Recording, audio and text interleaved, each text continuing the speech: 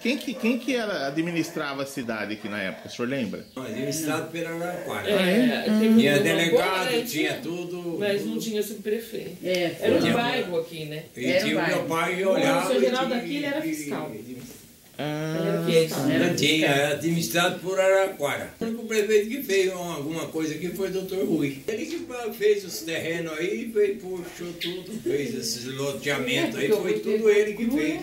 E ele que fez. Fez, ele que fez o fez hospital ali, ah, tá. foi ele que fez o hospital, fez o correio, tomou a, Velório a também, estação ali, foi Ah, ele é, que fez também, a estação do trem, que ele foi, fez a cama, Prédio da Câmara lá. é, da cama ali da estação, foi ele que fez. Foi Nós que vendemos prefeito. outros ele foi empurrando, né? Não fizeram nada.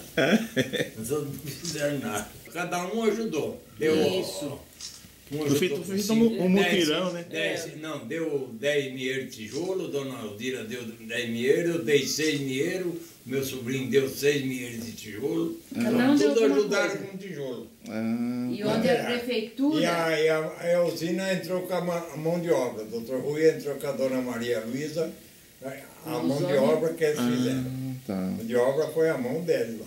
Todo mundo ajudou. Tá, Tudo isso aí para pro- construção do hospital. Do hospital.